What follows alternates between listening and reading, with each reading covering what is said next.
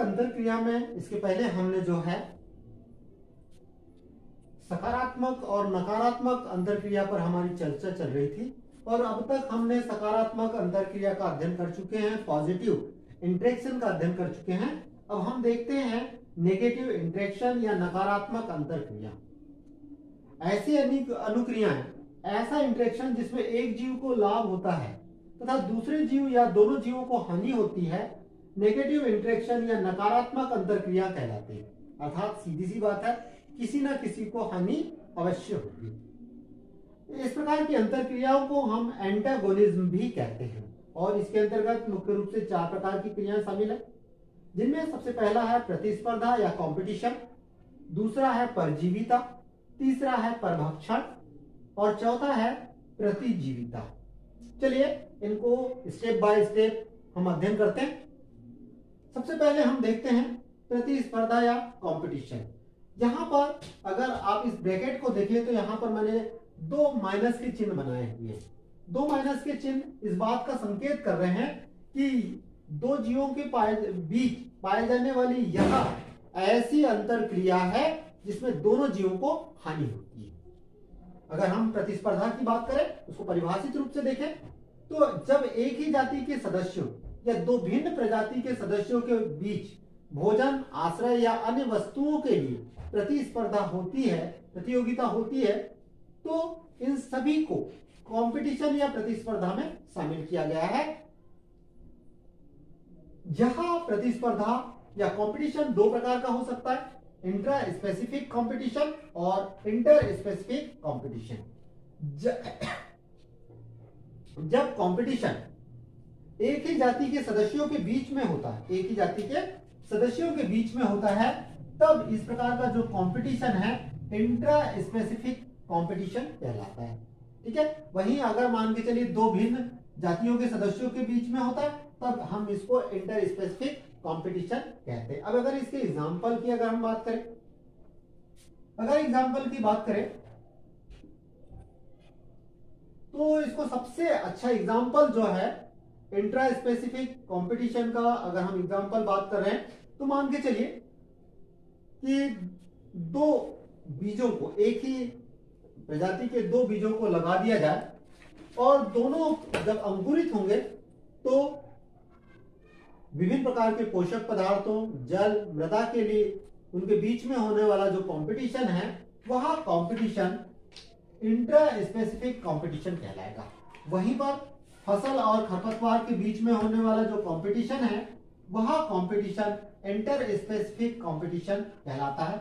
आप जानते हैं कि फ़सल और खरपतवार के बीच में जब कंपटीशन होता है तो जो स्ट्रांग होगा, जो ज़्यादा से ज़्यादा पोषक पदार्थों को या अन्य दूसरे पदार्थों को ग्रहण करेगा, वो आगे बढ़ जाता है। इसकी वजह से दोनों को ही नुकसान होता है, क्योंकि दोनों को पर्याप्त मात्रा में भोजन नहीं मिल पाता। इसको समझे कि मान के चलिए, हमारे पास कुछ चीज़ें हैं। कुछ चीज़ें हैं, भोजन की कुछ सामग्री रखे, कुछ फल रखे हुए हैं, और दो बच्चे जो भूखे हैं, उन दोनों को उन्हें खाने के लिए कहा जाता है। तो दोनों एक दूसरे से छीना छपटी करके खाने की कोशिश करेंगे। जो ताकतवर होगा, वो ज़्यादा खा लेगा, लेकिन जो कम ताकतवर होगा, वो कम खाएगा।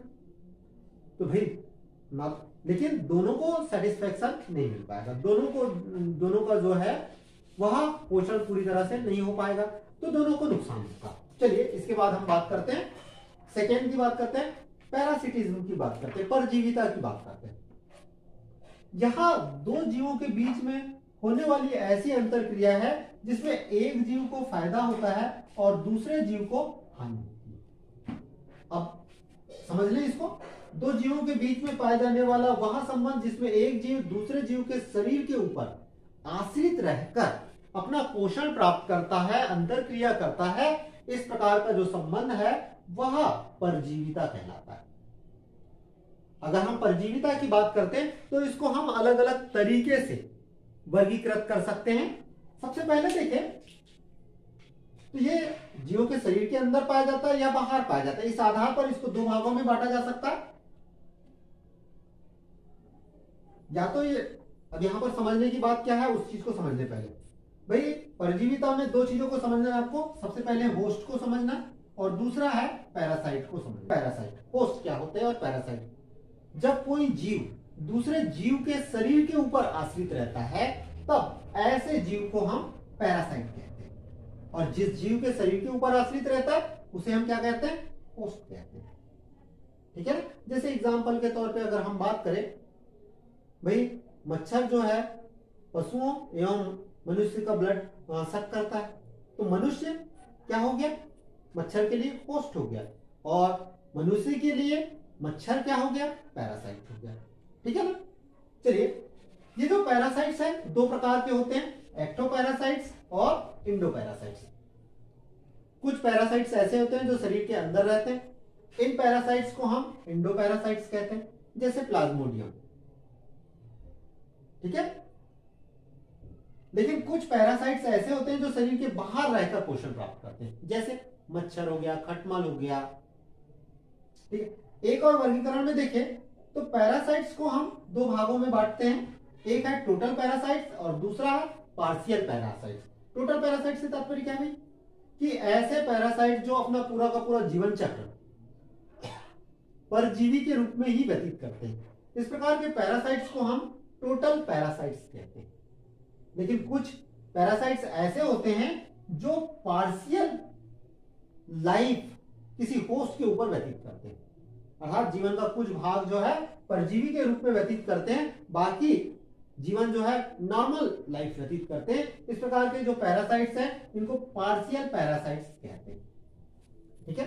फॉर एग्ज़ाम्पल के लिए अगर हम बात करें तो तितली का जो कैटरपिलर होता है, वो पेड़ के ऊपर कैटरपिलर की अवस्था जो है व्यतीत करता है। उसके बाद जब वो बटरफ्लाई में कन्वर्ट हो जाता है तो नॉर्मल लाइफ व्यतीत करने लग जाता है। वहीं पर, अगर हम बात करें टोटल पैरासाइट्स की टोटल पैरासाइट में जैसे एस्केरिस हो गया। अपना पूरा का पूरी लाइफ साइकिल जो है, वो पैरासाइट के रूप में ही व्यतीत करता है। स्टीरिचिया कोलाई हो गया, जो मनुष्य की आंत के अंदर पाया जाता है। ठीक है? चलिए, इसकी एक और वर्गीकरण देखें। तो पैरासाइट को दो भागों में और बांटा जा सकता है। एक होता है ऑब्लिगेट पैरासाइट्स और दूसरा है फैकल्टेटिव पैरासाइट्स अब ऑब्लिगेट पैरासाइट्स क्या है? अविकल्पी परजीवी। ऐसे परजीवी जो दूसरे जीवों के शरीर के अंदर या बाहर रहकर ही अपना जीवन यापन कर सकते हैं। अगर उसके बाहर आते हैं तो उनका अस्तित्व समाप्त हो जाता है। इस प्रकार के जो पैरासाइट्स हैं, ये ऑब्लिगेट पैरासाइट्स कहलाते हैं। ठीक है? लेकिन कुछ परजीवी ऐसे होते हैं जो कोष से, के शरीर से अलग होने के बाद भी जीवित रह जाते हैं। इस प्रकार का जो, इस प्रकार के जो पैरासाइट्स हैं, वो कहलाते हैं विकल्पी परजीवी कहलाते हैं। ठीक है? चलिए, अब देखते हैं प्लांट्स में कितने प्रकार के पैरासाइट्स होते हैं। एंजियोस्पर्मिक प्लांट की बात करते हैं ठीक है? एंजियोस्पर्मिक प्लांट की बात करते हैं तो यहाँ पर हम परजीवियों को दो भागों में बांट रहे हैं। एक हो गया पूर्ण परजीवी टोटल पैरासाइट्स और दूसरा आंशिक परजीवी या पार्शियल पैरासाइट्स देखिए, ये जो पूर्ण परजीवी है, ये कहाँ पाए जाएँगे? या तो मूल में पाए जाएँगे, या तना में पाए जाएँगे। ठीक है ना? आंशिक परजीवी भी या तो मूल में पाए जाएँगे, या तना में पाए जाएँगे। तो इस आधार पर इनको अलग अलग भागों में बांटा जा सकता है। पूर्ण मूल परजीवी, ठीक है? जो टोटल मूल पर ही रूट पर ही पैरासाइट्स के रूप में अपने लाइफ व्यतीत करते हैं, जैसे कि रेफ्लिसिया ओरोबैंकी बेलेनोफोरा और स्ट्राइगा ये पूर्ण मूल परजीवी के एग्ज़ाम्पल है। अगर इसमें से हम बात करें रेफ्लिसिया रेफ्लिसिया की बात करें तो आपको मालूम होगा इसे परजीवियों की रानी कहा जाता है। यह सबसे बड़ा फ्लावर होता है और इसकी गंध जो है, सड़े हुए मांस के समान होती है। ठीक है? चलिए, अब बात करते हैं हम पूर्णतना परजीवी जैसे कि अमरबेल कैस्कूटा कैसी था ये पूर्णतना परजीवी के एग्ज़ाम्पल है। वही आंशिक परजीवी की बात करें। आंशिक परजीवी की बात करें तो आंशिक परजीवी में जैसे आंशिक मूल परजीवी, जैसे इसका एग्ज़ाम्पल है तना चंदन। और वहीं पर अगर हम बात करें आंशिक तना परजीवी तो इसका एग्ज़ाम्पल है लोरेंथस। इनको ज़रूर अच्छे से ध्यान में रखिएगा। क्योंकि अनेक एग्जाम्पल्स जो है ऑब्जेक्टिव क्वेश्चन के रूप में यहीं से पूछे जाएँगे। हम बात करने वाले हैं प्रिडेशन या परभक्षण की। जहाँ दो जीवों के बीच में पाए जाने वाला ऐसा संबंध है जिसमें एक को तो लाभ होता है परंतु दूसरे को नुकसान होता है।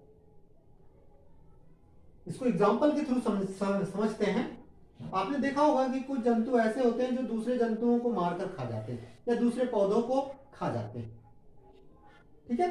तो ऐसे जीवों को हम क्या कहते हैं? प्रीडेटर्स कहते हैं, परभक्षक कहते हैं, तथा पोषण की यह विधि जो है, वह परभक्षण कहलाती है, प्रीडेशन कहलाती है। इससे होता क्या है? एक को तो फ़ायदा हो रहा है, लेकिन दूसरे को क्या हो जाता है? नुकसान हो जाता है। जैसे कि बाज हो गया, शेर हो गया ये क्या काम करते हैं? दूसरे पशु पक्षियों को मारकर खा जाते हैं। भाई, इनका तो फ़ायदा हो रहा है, लेकिन जो दूसरा जीव है, उसको नुकसान हो रहा है, उनका जीवन समाप्त हो जाता है। ठीक है?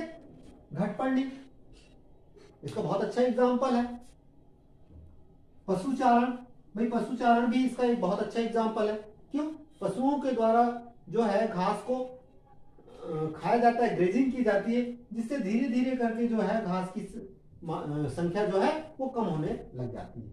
वहीं पर विभिन्न प्रकार के जो इंसेक्टिवोरस प्लांट हैं, वो भी इस कैटेगरी के अंतर्गत आ जाते हैं। चलिए, अब हम बात करते हैं अंतिम टॉपिक की, जिसका नाम है प्रतिजीविता या एंटीबायोसिस देखिए, कुछ जीव ऐसे होते हैं, जो ऐसे पदार्थों का सिक्रेशन करते हैं, जो दूसरे जीवों को नष्ट कर देते हैं।